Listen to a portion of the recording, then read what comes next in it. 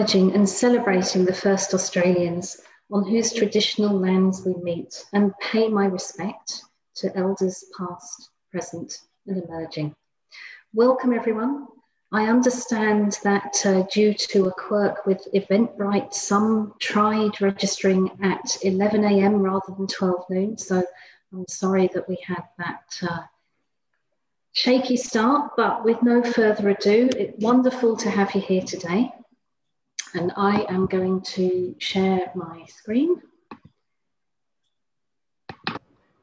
Not that this is going to be PowerPoint heavy, uh, but there we go.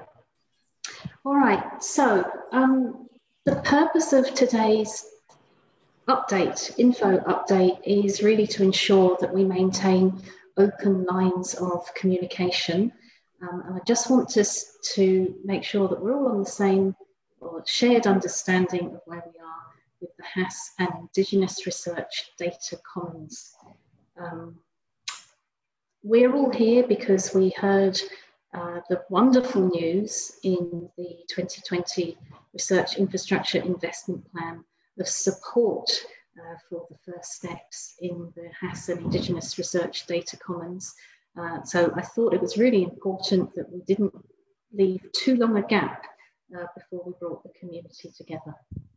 So first of all, um, we all know that funding was committed by the federal government back in October and that ARDC uh, will be the lead agent in this space. So this morning I'm going to just share a little bit about what ARDC is working on at the moment, why it fits. Um, I'm going to provide the broader context, what's happening in the national research infrastructure space at the moment, and what are the implications for this work, how this work has the opportunity to provide a really strong foundation uh, for the space, and then where we're up to in the specifics of this activity. As I say, it's more of a, a general information sharing and update that we can obviously have a question session at the end. So there we go. Now, uh, the, the uh, I might not want to do that. I'm not sure what that's sharing. I'll just stick with this. So the Australian Research Data Commons um, incorporated as a company limited by guarantee back in May 2019. Um, and you'll understand why I'm emphasizing this a little bit further on. But uh, it's a not-for-profit and we have, I'm very pleased, I'm very pleased to say that this slide is just out of date because we have reached 19 uh, university members plus CSIRO just last week. Um, so we have the membership across the country and you can see that our staff are hosted by universities across the country as well. And ARDC, very, very simply, uh, has the purpose to provide Australian researchers with competitive advantage through data. And we talk about a mission to accelerate research and innovation by driving excellence in the creation, analysis, and retention of high quality data assets. So that's the mindset that we bring to these activities. Since establishment, we've worked with five different themes. Uh, the commitment of the members is really embracing the shared vision um, as we're delivering it through these five different themes. So you can see them there, data and services, storage and compute, software and platforms, and people and policy. And of course, uniting all of that, we have the coordination and coherence. Now, I want to spend just a moment talking about uh, where we sit with the four themes um, and how that will uh, lead into where we have the interconnectedness of the research data commons. So ARDC, it comes from um, a very, very strong heritage in joining together ANDS, Nectar and RDS, so three previous uh, absolutely visionary research infrastructures coming together and providing a portfolio that includes some ongoing services such as the National Information uh, Infrastructure, uh, the Nectar Research Cloud, activities in the skills and the policy space that really underpinning um, contributions that work across every discipline. And then on top of that, we have the platforms and software and the data and services open calls that we ran in 2019 and 2020. Um, many of you will have engaged in these open calls and we have a series of projects that are currently underway. Uh, and I know that some of you uh, on the call today are active participants in those projects. So it's in um, concert with these, in parallel with these, that we'll be working on HASS and Indigenous Research Data Commons. But we're all doing it under the NCRIS uh, larger research infrastructure framework.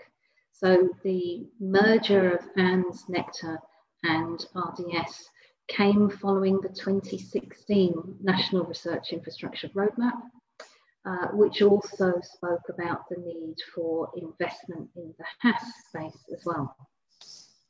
One thing that uh, I, I think since 2015, it's a huge change, but it's incredibly positive that the government have committed to a particular cycle in the research infrastructure roadmaps. And that's what I want to highlight today. So we have the 2016 roadmap. The government response to that was in 2018 with a research infrastructure investment plan.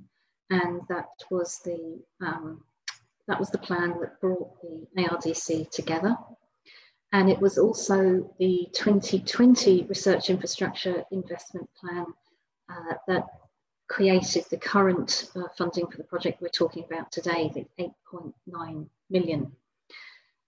But that particular cycle of a roadmap followed by two research infrastructure investment plans is a pattern that has been set out by government. One roadmap, two investment plans. The first is the government response, uh, to the roadmap, and the second is a, a top up or new activities that were identified in the roadmap. And so now uh, this leads us to the 2021 National Research Infrastructure Roadmap consultation. Um, the fact that this is running at the same time as the HASS and Indigenous Research Data Commons activity is an enormous opportunity for us as a community to demonstrate the foundations uh, for future and increased support in this sector. So it really is providing us with the opportunity to shine. A little bit about the timelines.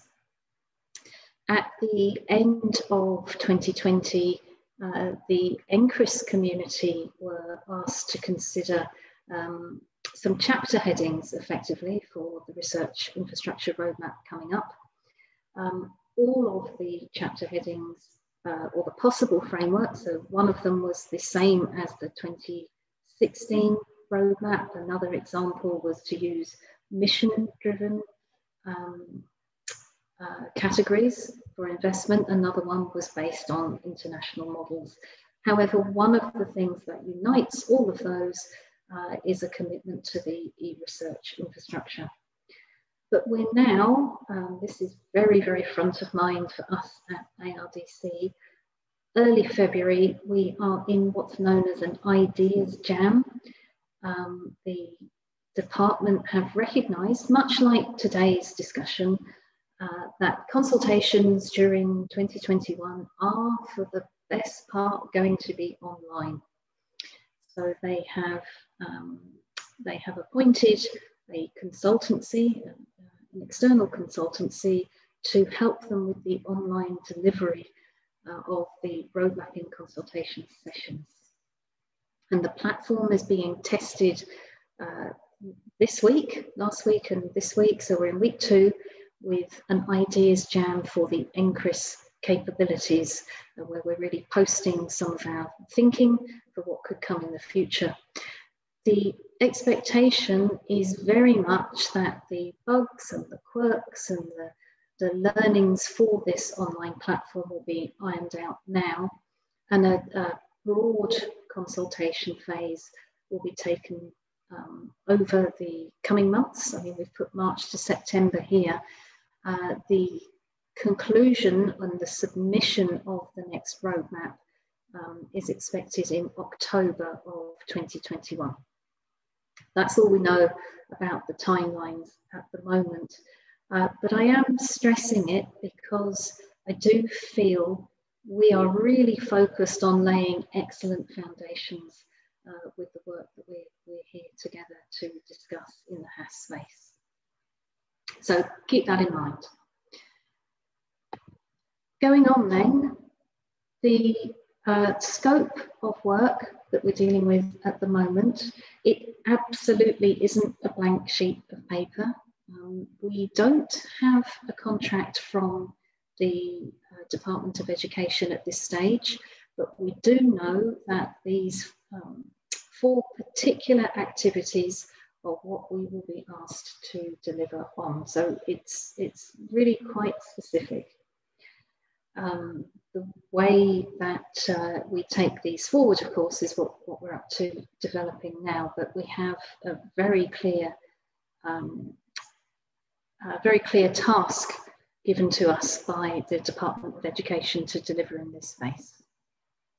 So you can see the four of them here. Uh, I don't suppose there are any surprises because it's exactly the same text as used in the government re releases uh, and on our website as well. So we have the high level description of the projects. We don't have the contract yet, and I understand that uh, one of the things that's being tweaked is simply the NCRIS guidelines that will support the contract. So we're, we're just waiting for that. We're not uh, concerned by that. And indeed, the next step is that ARDC will undertake uh, recruitment of a program manager to advance us to the next stage.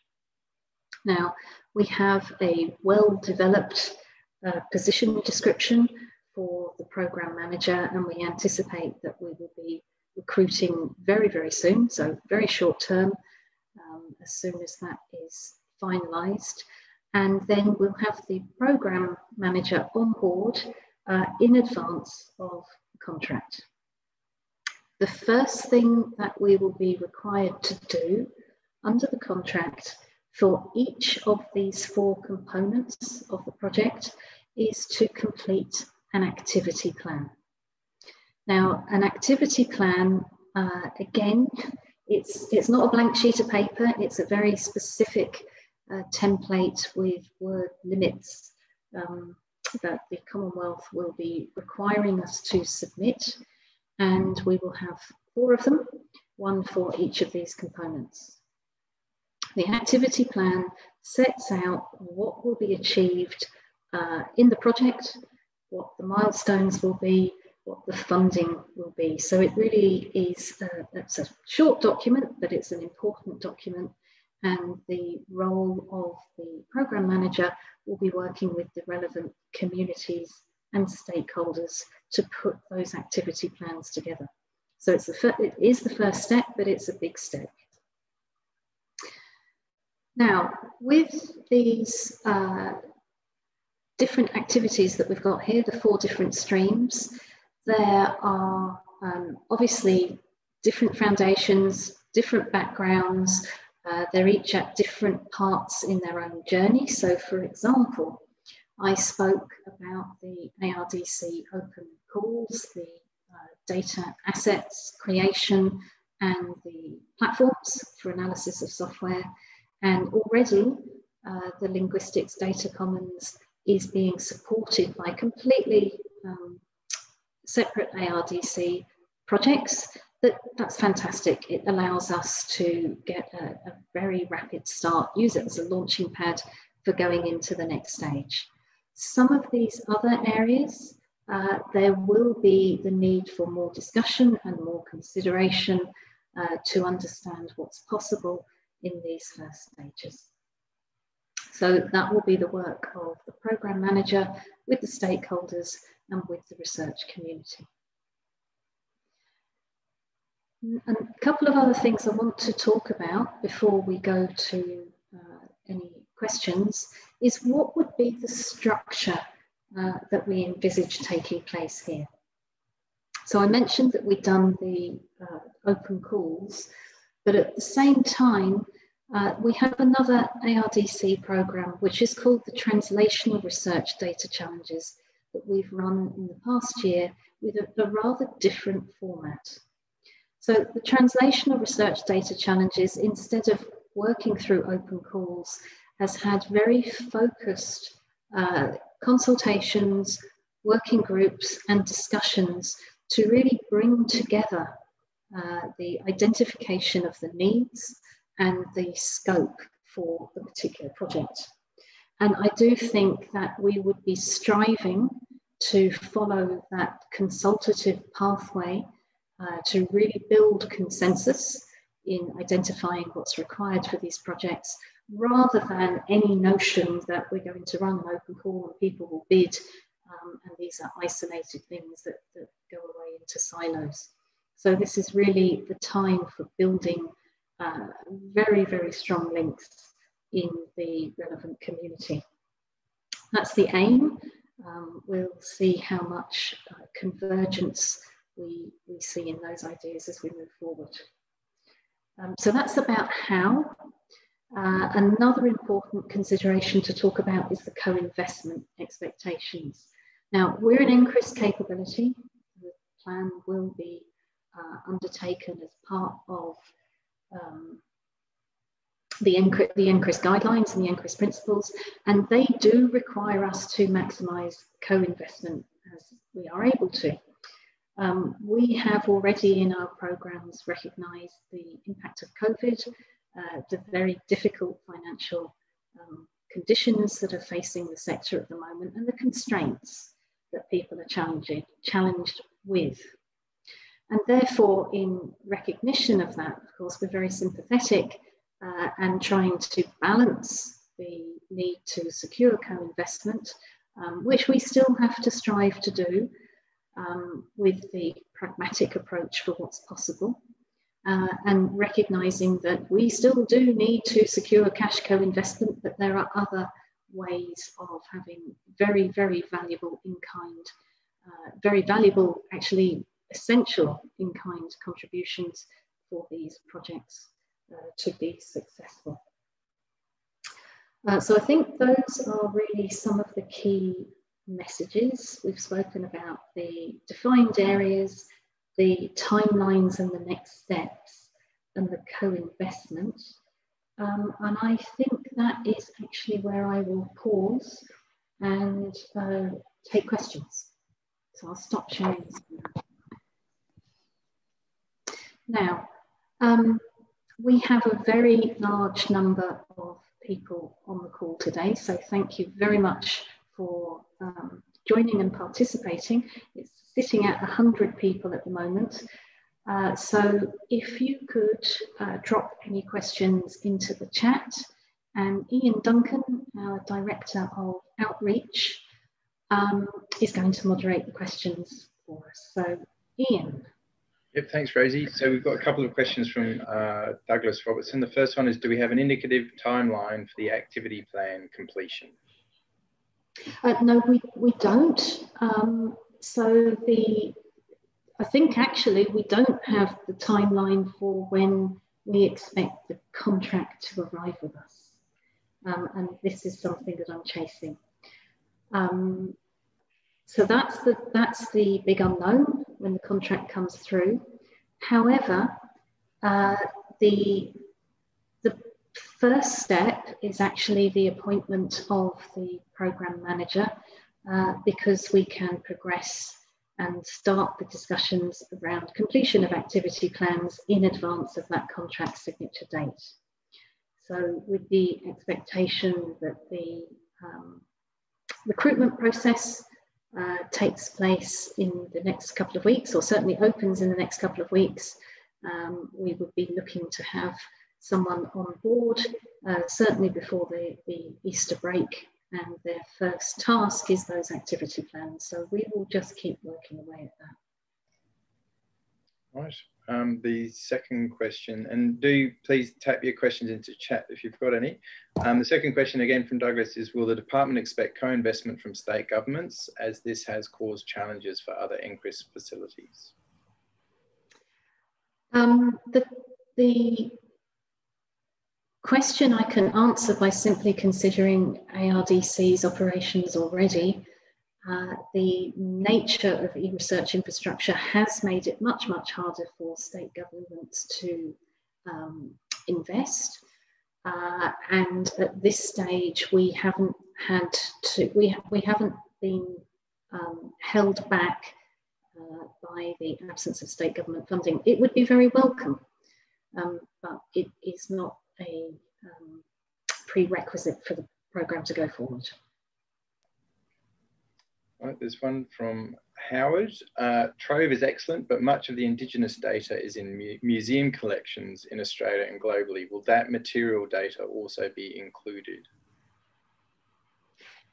Um, Howard, that is a, a, specific detail about the particular programme that I'm not in a position to answer at this stage. Um, we'll, we'll, certainly hang on to the question, um, but I can't give you an answer today. Uh, one from Steve McEachern. Regarding co-investment, there's been a significant level of co-investment into the various ARDC and related programs, so platforms, data partnerships, and so on. It may be beneficial to look at how the co-investment in those projects may be considered in combination with the co-investment expectations for the HASS-I program. Steve, you're trying to count the money twice. You're not getting away with that. I can see you on the screen. um, we will do what we can um, and be pragmatic about this. It was definitely worth a try, Steve. Yeah. Um, you can't count the same dollar twice. okay. One from uh, Katrina Grant. In terms of the Trove Researcher platform, what other corpora are in scope? Focus on Trove precludes a lot of other collections. Uh, so I can't comment on um, the, the specific details other than saying that we have to follow the identified uh, components as I've set out previously.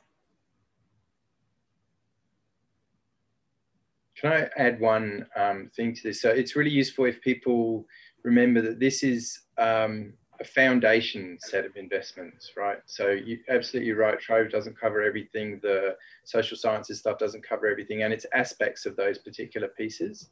And so, uh, as Rosie referred to earlier, the road mapping is the opportunity for showing how these um, early investments really can make a high impact and, and fit really nicely together for the community.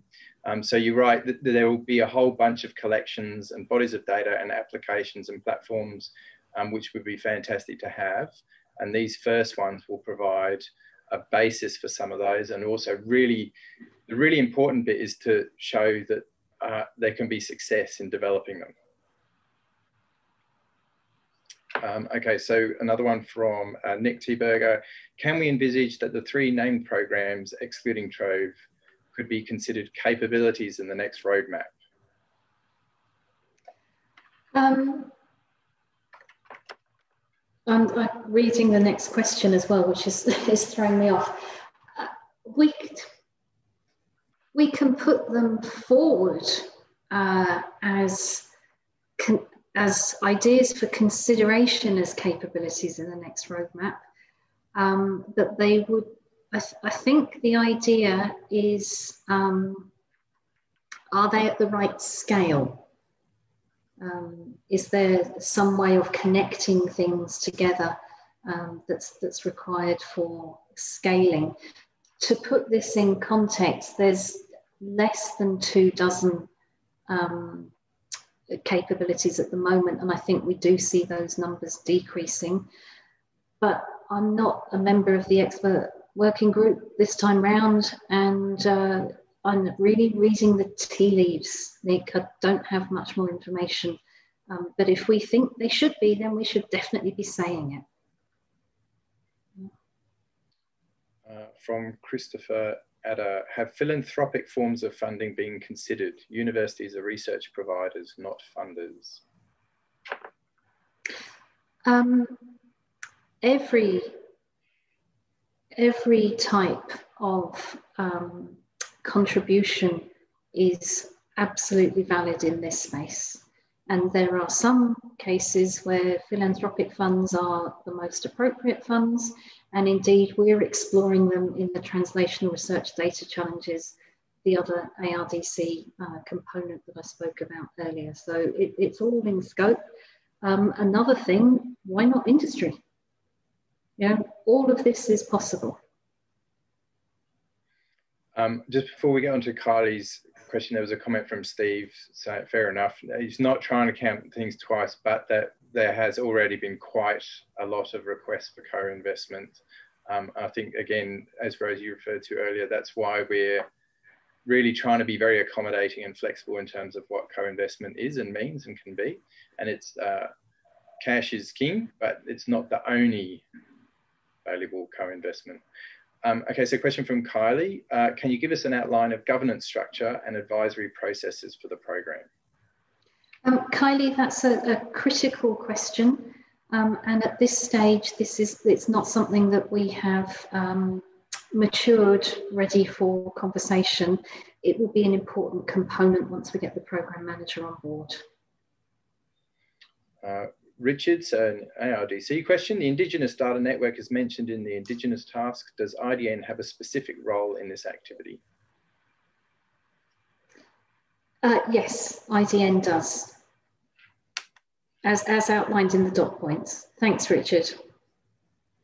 Uh, from uh, another one from Howard. Many of the Indigenous community users are in remote regions with poor digital connection and in the case of cultural data, including language, how are we going to facilitate access?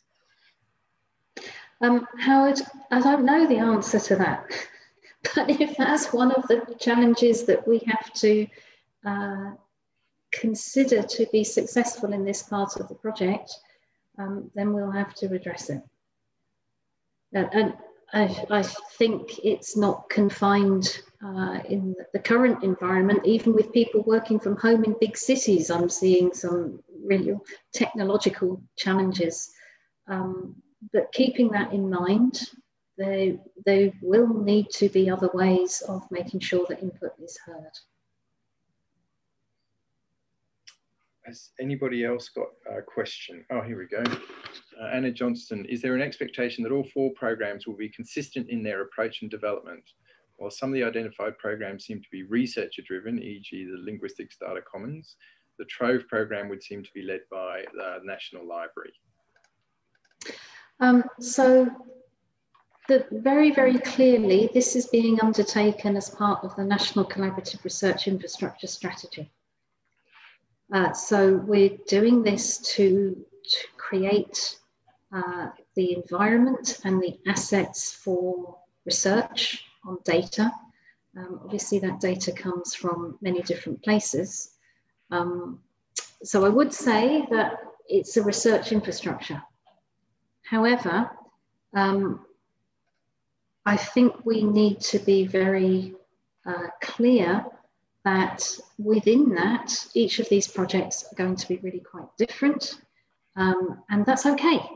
That's okay. There is a set of requirements that we have to meet. We have to meet the NCRIS principles. We're going to need to make sure that we have the activity plans uh, on an annual basis and the progress reports against those activity plans. But beyond that, we have um, definitely the ability to nurture and support each of these uh, projects in the way that best suits them. So if you think about it, the, the activity plan we have to put down exactly what it is we're trying to achieve and then come back and report against it. And that there isn't any intention to have a cookie cutter uh, approach across each of the four. Notwithstanding that, we do feel that there is definitely the opportunity to enhance connection between these projects, uh, across these projects, or with other projects in a way that shares knowledge, shares best practice, uh, enables people to build on the work of each other and not have to uh, devise each of their solutions from scratch each time. So um, docking in to uh, even the, the broader e-research infrastructure space is something that we will be hoping to uh, drive forward with these programs. All right, one from Angeletta. What's what's the overall time frame allocated to the HASS investment? Um, my expectation at the moment is that it's to June 2023 as the conclusion of the project. Uh, that gets harder and harder when we don't have the start date, but um, since, since ARDC is able to support the recruitment of the program manager and those and drive forward those initial discussions on the activity plan, um, we're really working to make sure that that's not an impediment. Uh, from Nick Thieberger again, is it likely that the funds will be split four ways with ARDC keeping some? How much? Question mark for admin. Um, so the first thing, ARDC will recruit the program manager and that will be funded um, from the 8.9 million. Uh, we will not apply any kind of top slicing. Um, so there, there's not going to be a percentage cut on these things at all. Um, there may be some absolute costs um, that are incurred to undertake the project in the digital world, they're a lot less. We're not paying for the tea and biscuits for uh, the, the consultations. Um, we're not flying a program manager around the country in the way that we would have done previously. Uh, obviously, I, I, do think that um, subject to the, the, constraints around borders, uh, the ability to have this person engaged deeply and face to face where possible with people um, will be very critical. So direct costs um, that would come from the project, uh, yes, but there, there won't be any kind of administration overhead imposed. Um, do I see the funds will be split four ways? Well, they'll definitely be split into four, um, but I don't have any preconceptions about whether it will be evenly or, or, or anything else. You know, that, that's something that we will be looking at the activity plans, what are we delivering in the activity plan, and how much does it cost to do that? Uh, okay, Sandra Silka asks, following on from the theme of foundational investment, could you clarify what, if any, expectations the department and ARDC has that partner institutions are providing baseline facilities, for example, institutional research data repositories, Keeping in mind the context of HASS being long tail, many researchers and many collections, how does ARD see its role, if any, in ensuring this kind of baseline is in place at the institutions and that those facilities are supportive of overall national research data reuse objectives, both fair and care for Indigenous? That's a really long question for me, Ian. Um, Sandra, maybe if I, I, can paraphrase, but you tell me if I get it wrong, but it's basically HASS is, uh, you know, HASS data becomes more valuable as it gets older, and there's a lot of it, and often small, not big collections, some big, some small. Uh, is the question to what extent is ARDC making sure that the institutions themselves are providing the underpinning infrastructure to make sure that all of those pieces don't get lost? Um, and also that the institutions are more generally supportive of fair and care. So um, do we have other programs that um, encourage institutions to be good data custodians and good data stewards? Sandra, you, are very happy. You're very welcome to speak here. I can I can see. Um, your, your hi. Yeah. Uh, yeah. Uh, look. Yeah. I th- look. Um, that's a good summation of uh, Ian said there. Of um, I'm just wondering what are ARDC's assumptions about what support is out there already for for HASS. And and I think you you vaguely alluded it, to it in a previous answer, sort of generally about the e-research space. And okay, I'm wondering, are you with you know what what do you expect institutions to be providing? Um, if anything. Some, yeah, I, I think expect is probably the difficult word here. Um, because I think what you're talking about is a, a question of um, whose responsibility is it longer term to deal with the tsunami, as it's been described, of uh, data, not just in the HASS space. Um, some of the collections might be smaller in the HASS space, but you know they're still acute. So what you're what you're touching on um, really is I don't think we have expectations, but we have concerns that somewhere in the system, someone it's got to happen.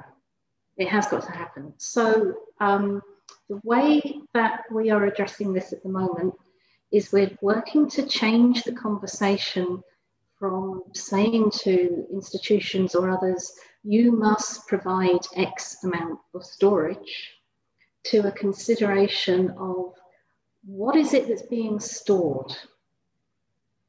How can we ensure that the storing of data, um, and by that I mean fair data, is optimized? And so we have done one pilot program. We're about to um, launch another very, very soon um, that works with the institutions and the NCRIS capabilities to identify uh, collections with particular associated metadata and work with them to incentivize the improvement of metadata associated with that collection and then and pay for that to happen. Now, what we would like to do is to be able to submit into um, the next road mapping process we're creating the framework where you can make a very considered judgment about what it is you're storing. And with that improved knowledge, you can better understand how much it's going to cost for that to happen.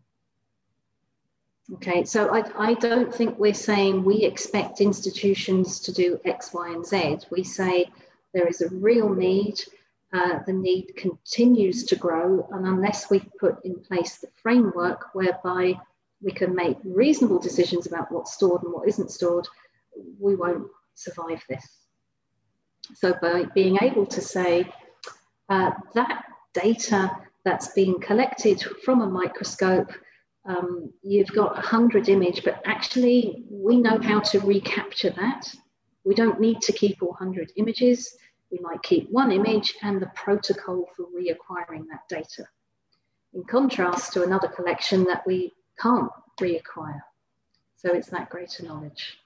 That was a bit of a long answer, but it was a long question and a really big question that's, that's relevant to all Australian research. There are, in fact, there are another couple of questions from Marco uh, and Ryan, which are, are, similar in the sense of the sustainability of the outputs. Um, if if your if your questions weren't answered, if you could just drop a little note, and then we might do a written answer to that. That's that's something which would be good for us to write down. There was also a comment from Douglas Robertson about that critical nature of governance, which I think we absolutely agree on. Um, really, that's a key component. Um, Peter Riley um, has a question regarding the Indigenous uh, Data Network dot point. Um, really, is the uh, pointed to the dot point that references the name role of IDN. Is the IDN therefore the single or primary vehicle pathway or pathway through which Indigenous research capability is expected to be supported? Um, I think again we're at the stage of um, I'm not presupposing what will be in this project, but certainly uh, the conversation will be started with the, the, program manager and with the IDN in the formation of the activity plan. Uh, Len Smith makes a comment which I think again refers a little bit to the underpinning infrastructures that it really is key to make sure that those ICT infrastructures, but also the people infrastructures, there's a sustainability path for those. Um, if I've paraphrased that incorrectly, Len, then let me know. Uh, Stephanie von Govel has a question. How will ARDC move these foundational or quite limited in scope in some aspects activities to broader scale and application? Um, so I, I think the point here is um, ARDC itself is only funded through to June 2023 at this stage, the same as these particular projects. Um, when we're going through the activity plans, there will be things that we're capturing and saying, yes, this is in the um, uh, scope of the project at the moment. These things aren't in scope, and then we would submit those to the road mapping process. Um, but at this stage, I can't say what the federal government investment will be beyond June 2023. Um, I certainly can't say that I would see these activities as an ongoing um, ARDC stream. I, I, think on their, um, if you consider a HASS and an Indigenous Research Data Commons, uh, I could definitely see that being a capability um, on its own. So a new NCRIS capability running, but, but I don't know. I don't know. Uh, question from Katie Wilson, will care and fair data principles be managed for accountability or monitored at some level? And if so, by whom? Um, the ARDC's um, underpinning work is to advance the fair and care agenda. And obviously, the, the, the fair data uh, agenda has a, a longer um, timeline behind it, but all of our work is in that space. Uh, the data retention program that I mentioned previously is absolutely at looking at how we improve um, the metadata associated with a particular collection. But it won't be a case of um, ARDC or anyone else externally policing something, in the activity plan, there has to be some consideration given to, well, this is what we are building, this is how we will judge it. Uh, interesting question from Peter Riley. So extending on from the care and fair increasingly emerging focus within Indigenous data research is Indigenous data sovereignty. This is a complex and systemic question and one that warrants a national consideration, including around storage and custodianship of any data that relates to Indigenous Australians. Do you see this as a component of this next stage of work? Can I just ask really quickly, do you mean this stage of work or the subsequent stages of work? Maybe you could um, I guess both this this stage and and then following on into the next stages. Yeah, thanks. Um, Peter, I think the, the um, concept of data sovereignty uh, is a, a, critical consideration um, and one that the design of the activities has to consider in the same way um, we, we think about uh, sensitive data in the health context. You know, data has a particular information uh, payload associated with it.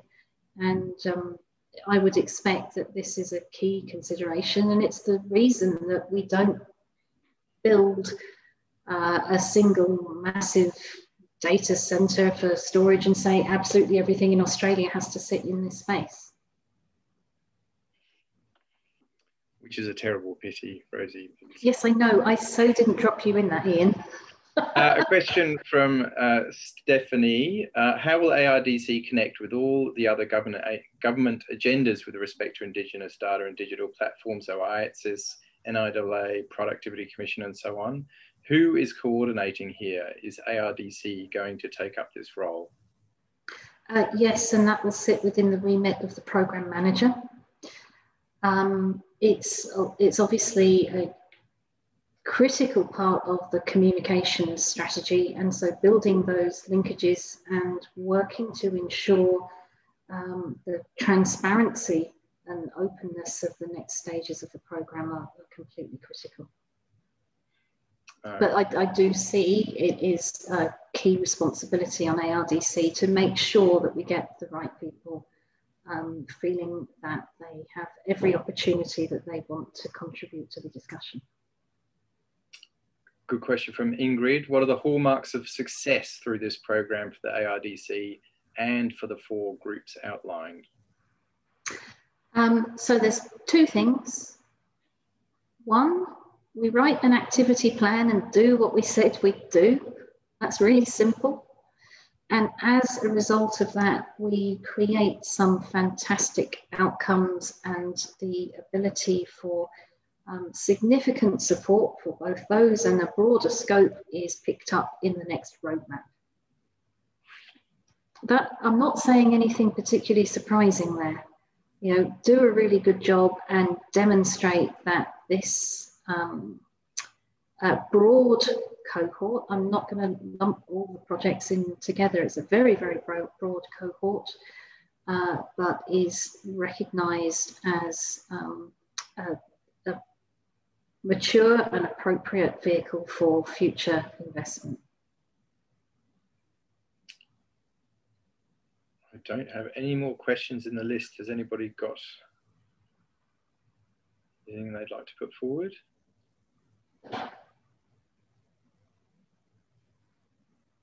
Okay, um, so the purpose for today was obviously not to leave too long a gap um, following October's announcement and bring us together and start some of these conversations. So thank you for all of your questions.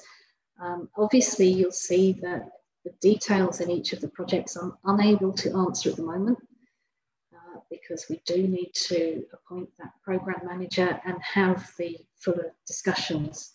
Um, but nevertheless, it's appropriate to capture these questions and take them forward going into the discussions. Um, the increased testing of the ideas jam is ongoing at the moment um, and in the, the, the, same time the finalisation of that position description is, is really um, in the next few days and so I think the important thing from today is uh, for me to say that as soon as we have this um, job advert published and out there, the first thing we will do is uh, circulate that link to you and ask you to, um, again, pass that on to your networks or stick your hand up. There could be someone there today that's just the person to join us as the program manager. I don't know, I can't see all the faces uh, but you might well be listening. So the position uh, will go out very shortly and um, it will be open um, probably for somewhere between two to four weeks and we'll press on with that. So that's the next step. Uh, during that time, we are still very, very happy for you to um, log questions with us. Uh, but some of these we really won't be able to advance until we have the program manager and we can move forward with some um, constructive and productive uh, stakeholder discussions around writing up those activity plans. Okay, so thank you all very much indeed for joining us this morning. Um, it shows the, the depth of support and commitment uh, for these very important projects. And I look forward to speaking with you over the coming weeks. Thanks a lot.